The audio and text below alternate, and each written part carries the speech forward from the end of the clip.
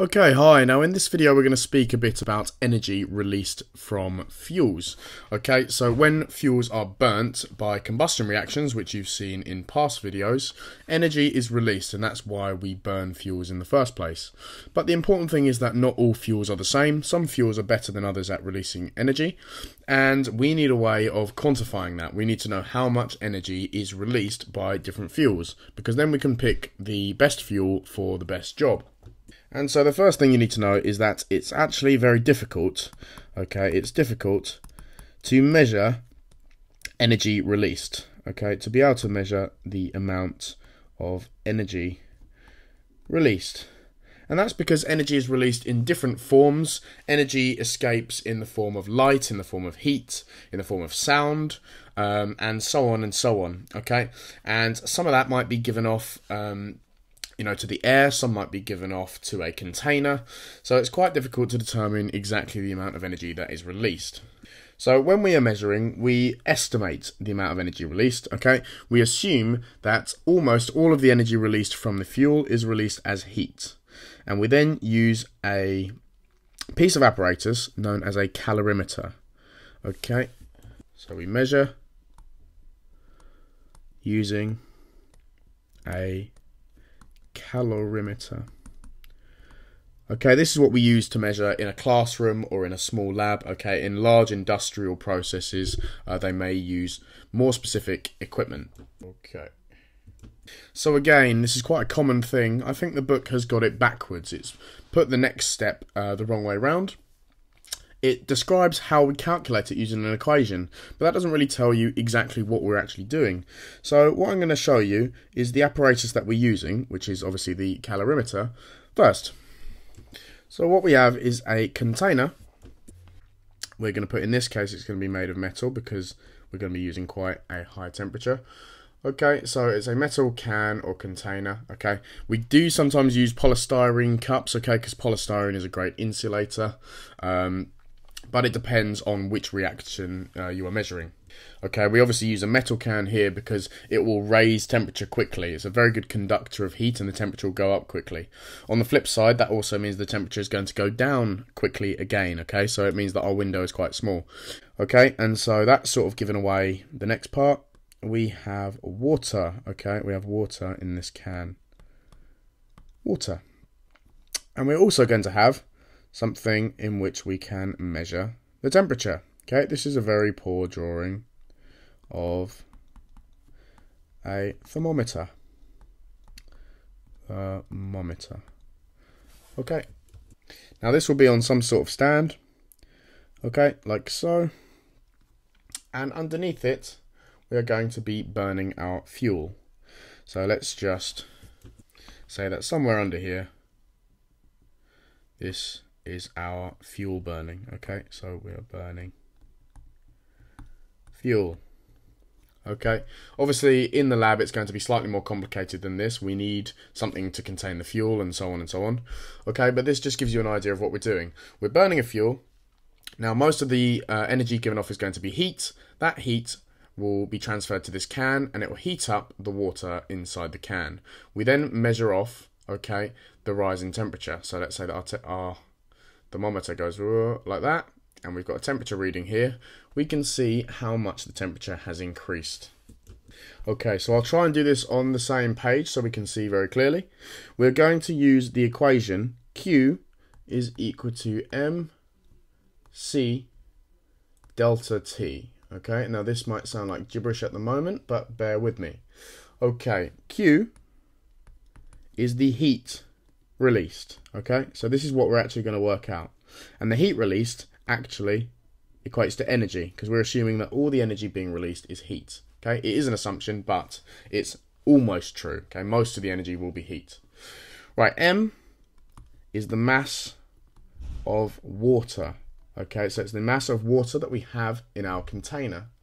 C is what is known as the specific heat capacity. Heat capacity of our water. Okay, specific heat capacity of our water. Now, what does that mean? Well, in brief, it is the energy that is needed to raise the temperature of one gram of water by one degree Celsius. Okay, scientifically, you would say by one degree Kelvin, but one degree Celsius is the same thing, okay, in this case. So it is a property of our water. If this container was filled up with a different substance, then uh, we would be using the specific heat capacity of that substance instead. And lastly, delta T. Okay, delta T. Well, delta T, the delta just means change, okay? This triangle symbol means changing, and the T stands for temperature.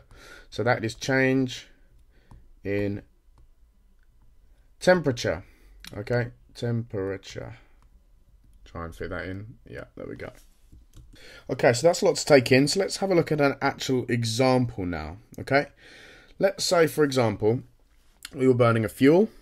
Okay, so we're burning a fuel, and the temperature. Okay, the temperature changed by uh, 30 degrees Celsius. Okay, by 30 degrees Celsius. Okay, so mass of water so mass of the H2O, which is obviously just M in our equation, was 100 grams, okay? Or let's, a question will sometimes say that we had 100 milliliters of water, okay? So let's say we've got 100 milliliters. Luckily, the mass of water, okay, is 1 gram per milliliter, which just means we have 100 grams of water, okay? So if you see milliliters, don't be put off, just write grams instead of milliliters.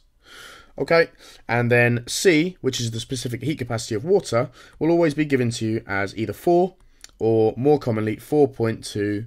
Okay, so it's 4.2 joules per degree Celsius, okay, per gram. And we can write that more simply as joules per gram degree Celsius. Okay, that's the same thing.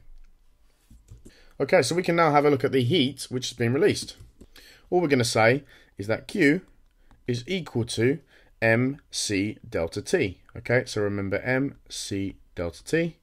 And let's just sub in the numbers. m, which is 100, times c, which is 4.2, times delta t, okay, which in this case was 30.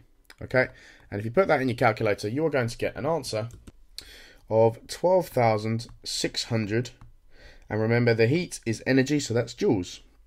And we could also write that as 12.6 kilojoules. Okay, 12.6 kilojoules. And that would be our answer. That would be the amount of heat energy which was released when we burned our fuel. However, one one more thing that you might be expected to look at is well, 12.6 kilojoules, right? any fuel could release 12.6 kilojoules, just depending on how much of it you've got. Okay, we need something which is universal, right? What we actually want to look at is how much energy does each fuel release per gram of the fuel, or per mole of the fuel. This allows us to compare the fuels as to which one is better per gram or per mole, okay? Because, for example, if I had a really bad fuel, okay, but I had 100 grams of it, that's going to release more energy than a really, really good fuel if I only had one gram of the really good fuel, okay? So, therefore, we have a look at uh, per gram or per mole. So, all I'm going to do is extend this question. And I'm going to say, in this question, I had 5 grams of fuel. Okay, I was burning 5 grams of fuel. Now let's have a look at how much heat energy was released per gram of that fuel. Well, clearly, if I had 5 grams and it released 12.6 kilojoules, then 1 gram, okay, so 1 gram would equal 12.6 divided by 5. So it's going to be Q divided by the mass, and I'm going to put a little subscript so it's not the mass of water, okay, the mass of fuel. So that's going to be 12.6 kilojoules, okay, or 12,600 joules divided by our mass, which is 5 grams. Okay, and that's going to give me an answer of 2.52 kilojoules per gram. Okay, or if you wanted it in joules, that'd be 2,520 joules per gram. Okay, so that's how many joules of heat energy this fuel gives off per gram of that fuel. Okay, now lastly, what if I was told that this, let's do it um, next to it actually this way so you can see it. What if we're told that this fuel is ethane? Okay, and now we want the amount of energy released not per gram but per mole of the fuel. Okay, so the fuel is ethane. We want the amount of energy per mole. Now, this is the most common um, used uh, measure in chemistry, if you like. It's the most useful for us. But let's have a look at how we're going to work it out. So what we need is we need the molar mass of ethane. Okay, so ethane you should know from previous chapters that ethane is C2H6. Okay, carbon has a mass of 12, hydrogen has a mass of 1, so we've got two carbons making 24, plus 6 lots of 1, which is 6. 24 plus 6 is 30. Okay, so we've got 30 grams per mole as our molar mass of ethane. Now, we have 5 grams of ethane. Okay, so how many moles have we got? Well, uh, just quickly, we've got 5 grams of ethane because remember I said we used 5 grams of fuel, just so you're not confused there. So we've got number of moles is equal to the mass divided by the molar mass. Okay, that's an equation you will have seen many times before. So our number of moles is equal to 5 grams, okay, because we've got 5 grams of fuel, divided by the molar mass of that fuel, which is 30 grams per mole, okay? And that is going to give us an answer of 5 divided by 30, which is 1 sixth, but I'm going to write it as a decimal to three decimal places or three significant figures 0.167 okay moles of fuel okay okay so finally we now know that we had 5 grams of fuel which released uh, 12.6 kilojoules okay which is 2520 joules per gram of fuel now if I want it per mole of fuel I'm going to say that 0.167 moles released 12.6 kilojoules of energy. Okay, and now I want 1 mole. So all I have to do here is divide both sides by 0.167.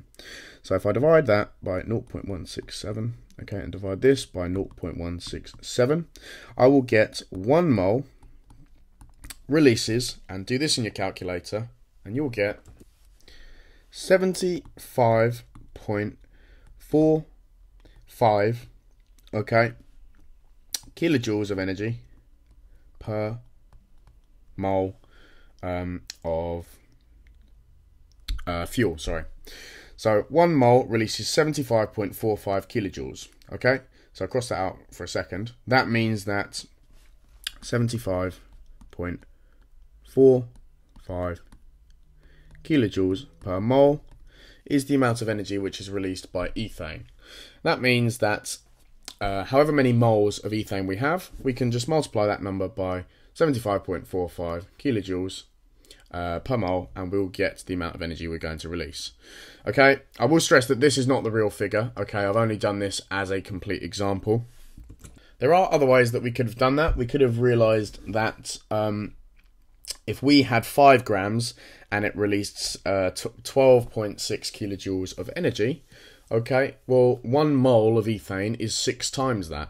So we could have just times 12.6 by 6 and we would have ended up with the same answer. Okay, so I'm going to stop there. So I hope that's helped um, you understand what we're doing with these calculations, what we're actually doing in the lab, and what we actually are doing with our equations. If you do have any questions, please feel free to send me an email using the direct link below or post a comment in the box and I'll be sure to get back to you. As usual, please don't forget to like and subscribe as there are more videos coming very soon. But I look forward to seeing you in the next one.